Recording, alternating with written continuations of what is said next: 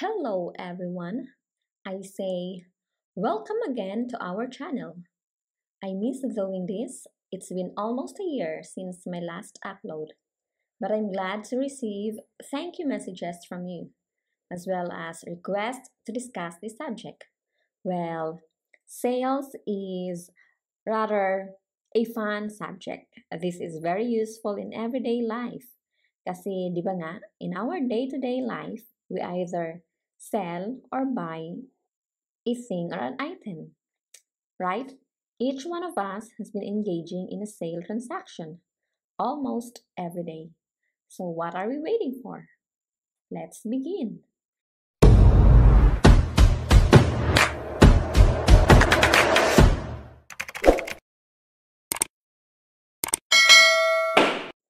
Let me start this by giving you an example.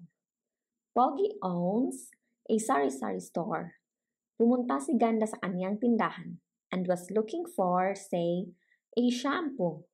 Nakita niya ang brand ng shampoo that she was looking for and asked Pogi for how much it is. Then Pogi says, 5 peso for one sachet. So Ganda pays 5 peso. And Pogi, binigay niya kay Ganda yung shampoo. That's it. That is a good example of a contract of sale. It's as simple as that. The moment Ganda pays 5 peso and Pogi give the shampoo, the contract of sale is consummated. However, simplicity turns into complexity the moment a legal issue arises. And these legal issues ito yung i-discuss natin. Let's try to make everything simple para mas madali rin siyang intindihin. But then, kilalanin muna natin si contract of sale. Now, Article 1458. By the contract of sale, one of the contracting parties obligates himself to transfer the ownership and to deliver a determinate thing, and the other to pay therefore a price certain in money or its equivalent. A contract of sale may be absolute or conditional. If meron mang provision sa law on sales that I will advise to you to memorize, it would be Article 1458. Kasi nga, this article provides for the legal definition, the concept, as well as the essential elements of the contract of sale. Nandyan din yung pag-identify ng parties to the contract and the primary obligations. So, let's start with the legal definition. If you are asked to define sales, that is Article 1458, okay? Yun yung ibigay. Now, let's discuss more on the concept of sale. Ang gusto kong sabihin dito is that sale is a special contract. Kasi sa totoo lang, sale eh, is a contract, di ba? Just like what we learned when we discuss obligations and contracts. If you remember, yung requisites ng contract, COC, naaalala niyo pa ba? Concept of the contracting parties, tapos O for object certain, and then yung last na C is for our cost of obligation, right? Applicable pa rin naman yun, okay? But then, ba't ko nasabi na sales is a special contract? It's because there is a different set of provisions under the civil code that deals with it. Meron talaga siyang rules applicable para sa kanya lang. Kaya special contract siya. But then, it is still a contract. Okay? Meron nga lang separate or different sets of provisions na nagdi-deal sa kanya. Okay? If we look into Article 1458 pa rin, makikita mo din dito yung um, parties ng contract, di ba? Na-identify din rito kung sino ba yung parties ng contract of sale. First is yung vendor or yung seller. Tapos, yung vendee or yung buyer. And further, nandyan rin yung primary obligations ng dalawang parties. Di ba? Si vendor, ang kanyang obligation is to transfer the ownership and to deliver the thing that is the object of sale. Now, si vendor naman, yung kanyang obligation is to pay the full price or the full purchase price at the agreed time. The very essence of a contract of sale is actually the transfer of ownership in exchange for the price paid or promised, okay? Yung pag-transfer talaga ng ownership, kapalit yung pagbabayad, yan yung essence ng contract of sale. Now, let's discuss what are the characteristics of a contract of sale. First, consensual, meaning it is perfected by mere consent. Hindi kagaya ng mga real contracts like contract of pledge or deposit na yung perfection is upon delivery. Okay? Tapos second, characteristics ng contract of sale. It is bilateral and reciprocal meaning both parties are bound by obligation. Yung contract of sale ay nag-create ng reciprocal rights and obligations on both parties. Both seller and buyer has its rights and obligations, okay? Hindi lang yung isang parties ang may obligation, but both parties, the seller or vendor and the buyer or vendee. The third characteristics that I want to discuss is ano, yung commutative. Yung sale raw, yung contract of sale is commutative, meaning the value exchange is considered or at least presumed to be equivalent sa price. Although may exception nga to in case of aleatory contracts like yung sale ng lotto tech tickets, okay? Now, another characteristics is it is principal, meaning it is not dependent upon the existence of the other of other contracts. As distinguished from accessory contract naman, okay? Principal, hindi siya dependent sa ibang kontrata. Now, onerous, meaning merong valuable consideration. Hindi siya gratuitous kasi onerous siya. Tapos, number six, nominate. When you say nominate as distinguished from innominate, meaning meron siyang name, meron siyang pangalan, which is provided in the civil code. Yun nga, sale nga yung pangalan niya, di ba? Meron siyang special designation sa batas. Unlike nga doon sa mga innominate contracts. Okay? That's it. I think characteristics of sale or contract of sale. Now, let's proceed with the elements of the contract of sale. Actually, meron tayong tinatawag na essential elements or yung requisites, tapos natural elements, and then accidental elements. So, sa natural or I mean essential elements, which is nabanggit na natin kanina in passing. But then again, to emphasize, let's discuss further. So, yun nga, essential elements ng contract of sale, COC. Almost similar pa rin naman ng COC, pero dito may specific ano talaga. Letter A or number one, consent or meeting of the minds. That is, consent to transfer ownership in exchange for the price. Second, dapat meron ding determinate subject matter. And third, meron siyang price certain in money or its equivalent. So, it need not be money palagi yung price, okay? Pwede na namang its equivalent. So, example, eto. If si Pogi, nag-offer siya to buy Ganda's um, Mitsubishi Expander with plate number 1 ABC123 for say 500,000 pesos. Now, si Ganda, in-accept niya yung offer ni Pogi. And so, binigay niya kay Pogi ang susi ng sasakyan niya. The Expander, the Mitsubishi Expander is sold to Ganda. I mean, to Pogi. So in this example, yung consent is manifested by Pogi's offer to buy Ganda's expander and Ganda's acceptance. Now, yung object of sale is yung Mitsubishi expander ni Ganda na may plate number ABC123. 'Di ba? a determinate subject matter.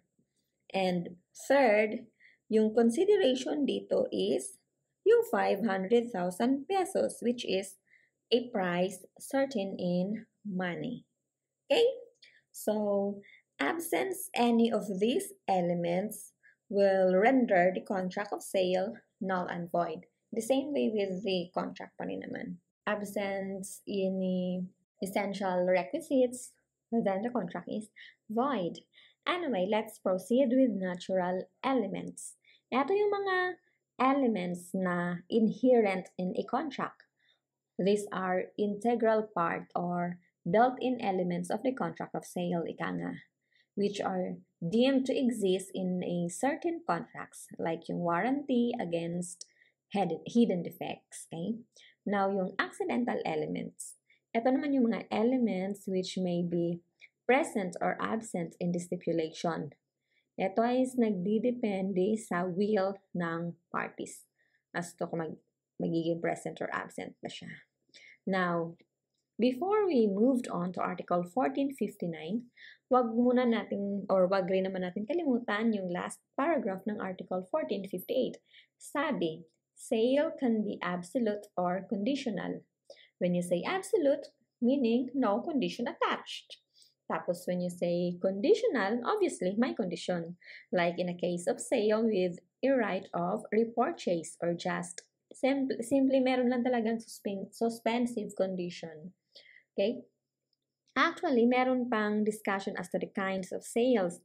But then, I will not discuss it here na kasi parang self very self-explanatory na siya masyado. Like, yung kind of sales as to the nature of the object, di ba? Pwede siyang sale ng real property or sale ng personal property. Basahin nyo na lang, kaya nyo na yan, promised. So, for now, punta tayo sa Article 1459. The thing must be licit and the vendor must have a right to transfer the ownership thereof at the time it is delivered. So, Article 1459 talks about two mandates or two important mandates the lawfulness of the object and the rights to transfer ownership. Sabi, the thing or yung object ng sale dapat daw licit. Licit means lawful, okay? Meaning the object must be within the commerce of man. It must not be unlawful. Kasi if yung object ng contract is unlawful, illicit, ano ba yung mangyayari? Well, natural, yung contract is null and void, di ba? So, example, the sale of marijuana or shabu.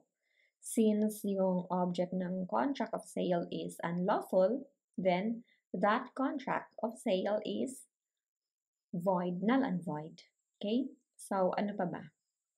Ano pang example? Yes, yung vote buying. Malapit na yung election. The object is illicit. So, void rin yon. Okay? Well, aside from that, yung Article 1459 also talks about the right of the vendor or the seller to transfer ownership of the thing or object at the time the object or the thing is delivered to the buyer or the vendee. So, actually, ito yon. What you want to focus on Article 1459 is the clause about the right to transfer ownership. Makikita natin sa Article 1459 na yung ownership ng seller sa bagay na binibenta niya ay hindi naman kailangan at the time of the perfection of the contract of sale. Okay? It is not one of the elements for its perfection. Ang ni-require ni Article 1459, dapat si seller ay may right to transfer ownership at the time na yung bagay or yung thing ay i-deliver. Okay? Malinaw? Para lang klaro, baka mas naguluhan kayo sa sinabi ko. Okay? Yung transfer or I mean, it is an essential element in a contract of sale na yung seller must be the owner of the object sold. Okay? Dapat owner siya ng object or ng item na yan para naman ma-transfer niya yung ownership. Kasi nga, di ba, one cannot sell what he does not own. So, dapat owner siya. Pero, yung requirement ng ownership is hindi kailangan at the time of perfection. Kailangan lang siya at the time of delivery. Okay? Dapat owner siya para ma-transfer niya yung ownership. Pero hindi siya kailangan at the time ng perfection pa lang ng contract. Um, kailangan siya doon sa time ng delivery. Okay? There can be a sale even if at the time of the perfection ng contract, yung seller is not the owner. Or hindi pa siya yung owner ng thing na yon na kanyang binibenta. Okay? So, example, if today, ngayon, si Pogi, binenta niya kay Ganda ang specific car, okay, yung car pa rin na Expander ABC 123, owned by Beauty. Binenta ni Pogi for, say, 500,000 pesos. Now, si Pogi promised to deliver the car the Mitsubishi Expander with plate number ABC123 to Ganda 10 days after. If the, on the ninth day, si Pogi, binili niya kay Beauty yung sasakyan, yung Mitsubishi Expander 12 ABC 123 yung plate number. And then, binili niya on the ninth day. Tapos, on the following day, dineliver niya kay Ganda. So, the sale is valid because the requirement, yung requirement na yung seller must be the owner at the time of the delivery is complied with, di ba? Although by the time nung perfection ng contract nila ni Ganda, hindi pa si, Be- si Pogi ang owner, pero on the ninth day, binili niya kay Beauty, and so on the tenth day, dineliver niya kay Ganda. That's a good example for this. So let's proceed with Article 1460. Actually, Article 1460 to 1465, this discusses on the object of sale.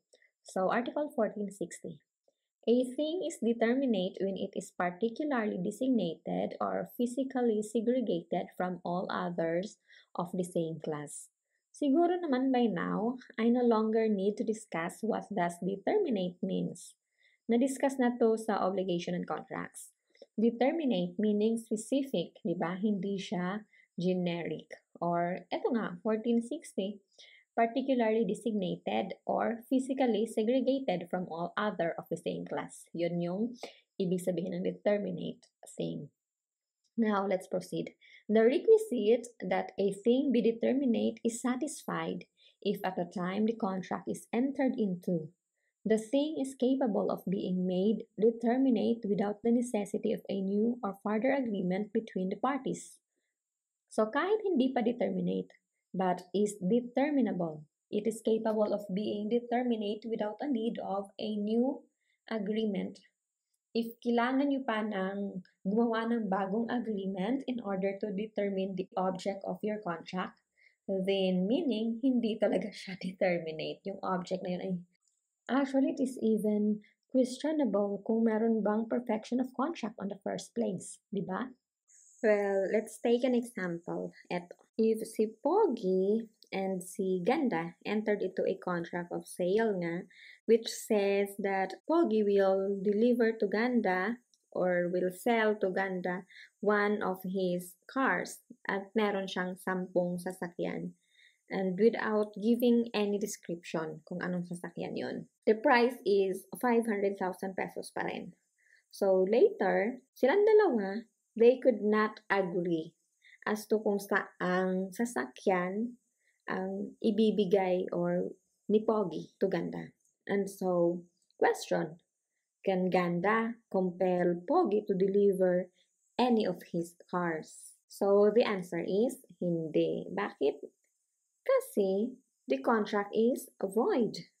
One of the essential elements nga ng valid contract of sale is dapat yung object must be determinate. And so, a thing is determinate when it is particularly designated or physically segregated from all of its other of the same class. So, eto, walang description as to kung saan. Eh, meron siyang sampung sasakyan. ba? Diba? So that's it. That's a good example for Article 1460. Proceed na tayo kay Article 1461. Things having a potential existence may be the object of the contract of sale.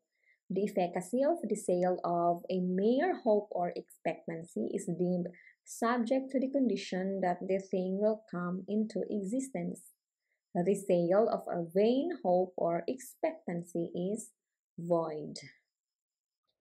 So, sale of things having a potential existence or imsures perate versus the sale of hope or expectancy. Ito naman, pay.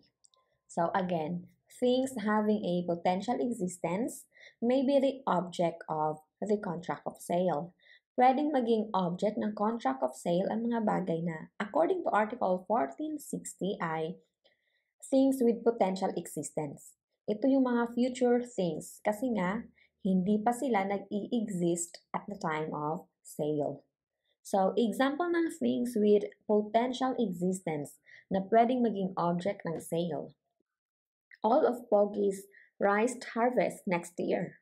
Or pwede rin the wine that a particular vineyard is expected to produce. Or pwede rin young animals not yet in existence. Okay? So, there is a difference between a sale of an expected thing and the sale of hope itself. Kasi, dito sa sale of things with potential existence, it is expected na if the thing does not materialize, the sale is not effective. Pero dito sa hope, it doesn't matter if yung expected thing materialized or not. Kasi yung hope itself, yun yung importanteng meron. The hope itself validly existed. So, pag ganun, valid yun, pwede siya. In contrast naman, pag yung hope is vain, kasi in that case, void. Makikita mo talaga siya sa kay Article 1462. Now, another difference ng dalawa, dito kay with potential existence, ito ay subject to a condition that the thing should exist. So, if hindi nag-exist in the future, there will be no contract by reason of absence of an essential element. Diba? Walang subject matter, right? Well, let's take an example later pagkatapos natin i-compare tong dalawa. Now, dito naman kay hope, it produces effects even though the thing does not come into existence hindi mo rin masasabi na walang subject matter. Kasi nga, yung subject matter is yung hope mismo. Okay? Another difference. Yung sa first, it deals with future thing. Etong kay hope, it deals with present thing. Yung mismong hope mismo, okay? Nag-i-exist na siya. Magandang halimbawa dito is yung sale ng valid lotto ticket Whether the ticket wins or not, the sale itself is valid. Unless nga it is a case of vain hope, which is expressly stated in Article 1461 to be void.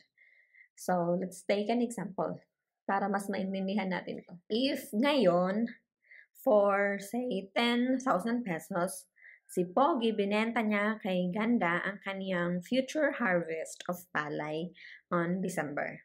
So the price was already paid by Ganda to Pogi. And so on December, pagdating ng December 2021, pag wala pa lang harvest, si Ganda pwede niyang ma-recover from Pogi ang kanyang binayad na 10,000 pesos. Kasi under Article 1462 nga, if the expected thing does not materialize, the sale is not effective, okay?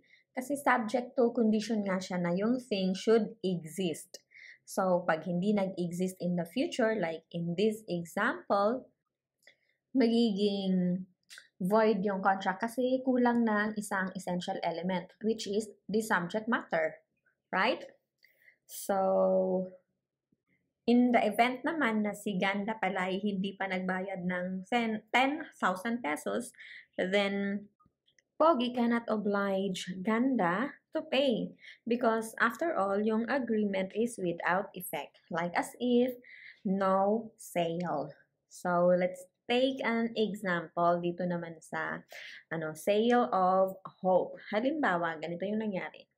Si Pogi, binenta niya kay Ganda for 10,000 pesos pa rin yung lottery ticket number 012345. Unfortunately, kinabukasan, the ticket did not win the prize, okay? So, in this case, si Pogi he cannot, I mean si Ganda, he cannot recover the 10,000 pesos na binayad niya kay Pogi for that ticket. Dahil nung binili niya yung lottery ticket, what she is buying actually is the hope that that ticket, na yung ticket na kanyang binili for 10,000 pesos, will win 1 million pesos. Di ba? Ganon. So, I think malinaw naman yung example for sale ng hope or expectancy. Now, papaano pala if yung nangyari is ganito? If the draw was actually made yesterday. So, kahapon pa pala nag, nangyari yung draw for that ticket na binili ni Ganda.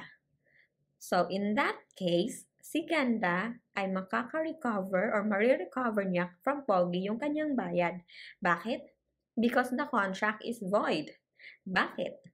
Kasi yung binili ni Ganda is actually a vain hope or a hopeless, I mean, a hopeless case. Kasi, di ba nga, yung draw for that lottery ticket pala is nangyari na kahapon. Di ba? So, paano pa siya mga magkakaroon ng hope? It is actually a vain hope. So, that's it. That's an example of sale ng hope or expectancy, tapos yung vain hope naman. So, ano pa ba? Well, moving on, we will be discussing further yung kinds of thing. Ito yung topics from Article 1462 to 1465. Ano-ano nga ba itong mga things na to, di ba, na dinidiscuss natin. So, Article 1462 talks about goods, tapos si 1463 or Article 1463 uh, talks about the undivided interest of co-owner. Things din daw yan. And then Article 1464, undivided shares in a specific mass of fungible goods. Yan. And Article 1465, things subject to resolutory condition. So, simulan na rin naman natin. So, a thing could be goods, okay? According to Article 1462. The goods which form the subject of a contract of sale may either existing goods, owned or possessed by the seller, or goods to be manufactured, raised, or acquired by the seller after the perfection of the contract of sale. In this title called future goods. There may be a contract of goods whose acquisition by the seller depends upon contingency which may or may not happen. So, traditionally, uh, specifications of goods are movable and tangible. Okay? Traditional specifications talaga yan. Then, when you say movable, literally, yun yung namumove from one place to another. Like any of your personal properties, like yung phone mo, laptops, or jewelries, yan. Now, pag sinabi mo namang tangible, those that can be touched, yung may mga physical nature. Pero, however, as the world become digitalized, nagkaroon na rin tayo ng goods which do not have any physical nature. Yun yung mga intangible goods like the mobile apps, yung mga games, musics, and other digital content. Those are goods pa rin, intangible goods, okay? Sabi ni Article 1462, goods includes yung existing goods owned or possessed by the seller. I think there will be no question about that. Second, future goods to be manufactured, okay? Example dito, yung sale of a milk bottle to be manufactured pa lang, di ba? Raised. So, yung sale ng young of animals that, yan, yun nga, i-raised pa rin. Tapos, acquired by the seller after the perfection of the contract of sale.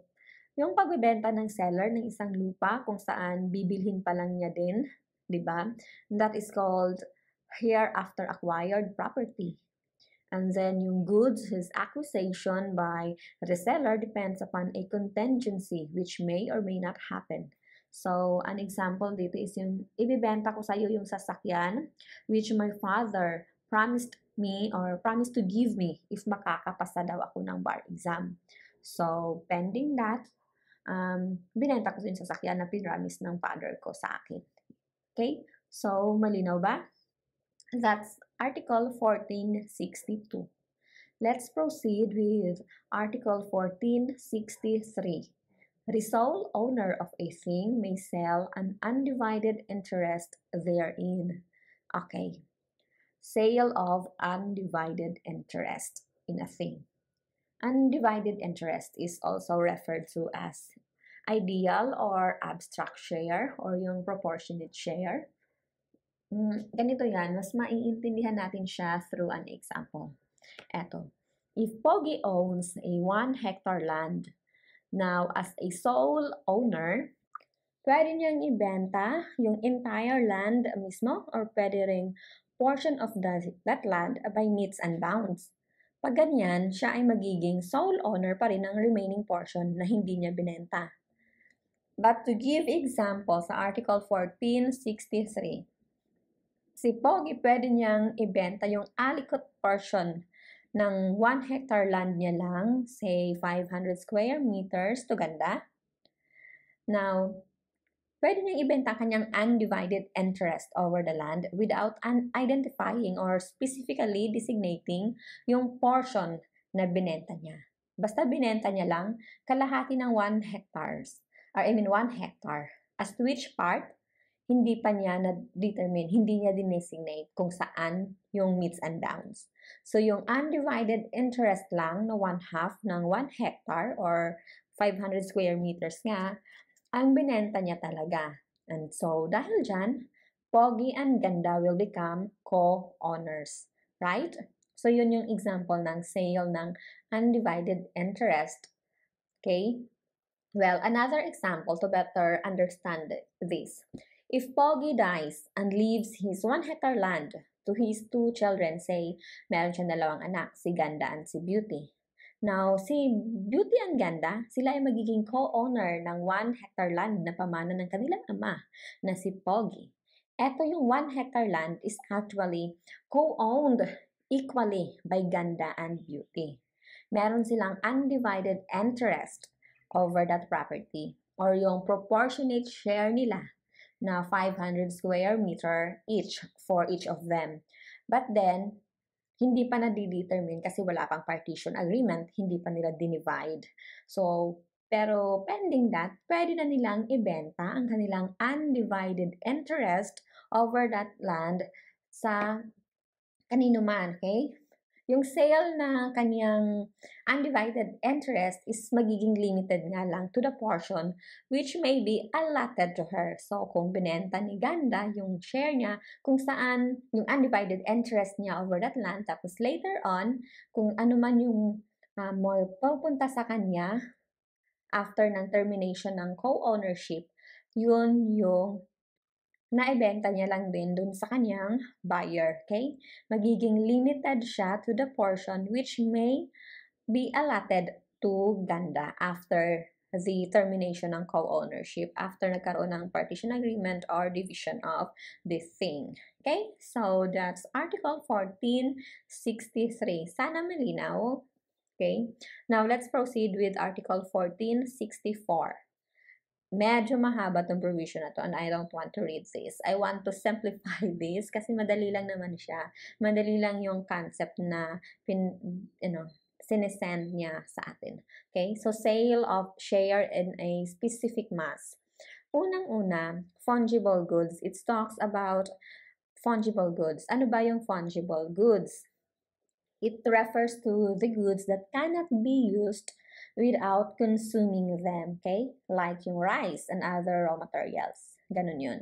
Anyway, to simplify Article 1464, kayo na yung magbasa, okay? Tapos, eto lang yung simplification na gusto kong tandaan nyo. Ganito lang siya. Pag daw yung quantity ng mass is more than the quantity sold, mas marami kesa sa yung nabenta, the parties will become co-owners. Okay?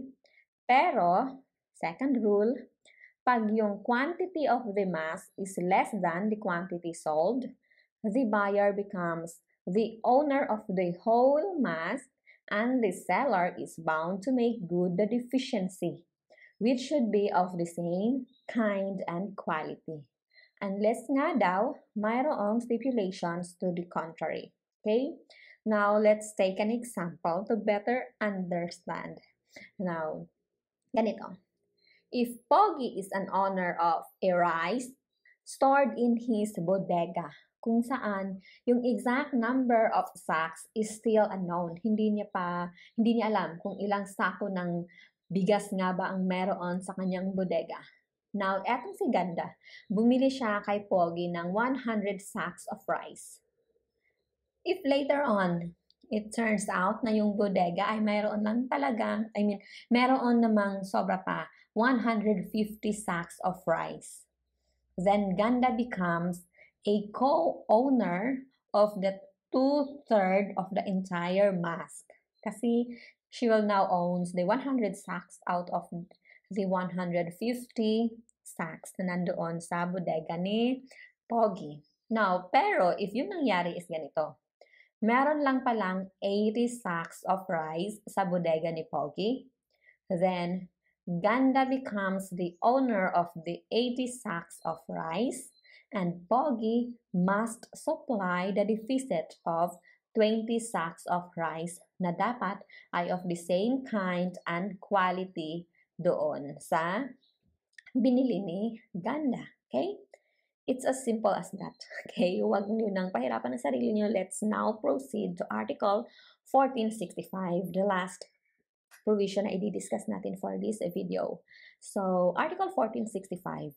Things subject to a resolutory condition may be the object of the contract of sale. Sabi ni Article 1465, yung mga things which is subject to a resolutory condition, pwede rin silang maging object ng sale. It's as simple as that. Siguro naman, I do not have or I do not need to discuss further about this resolutory condition. Okay? It's uncertain event na kung nangyari, mai-extinguish ang obligations. Pwede. Pwede mong mabenta yung object na subject for subject pa ng resolutory condition. Okay? So, that's it. Thanks for watching. If you find this video helpful, please like and subscribe and click that bell button to update you sa new videos upload namin. Thanks again. Bye!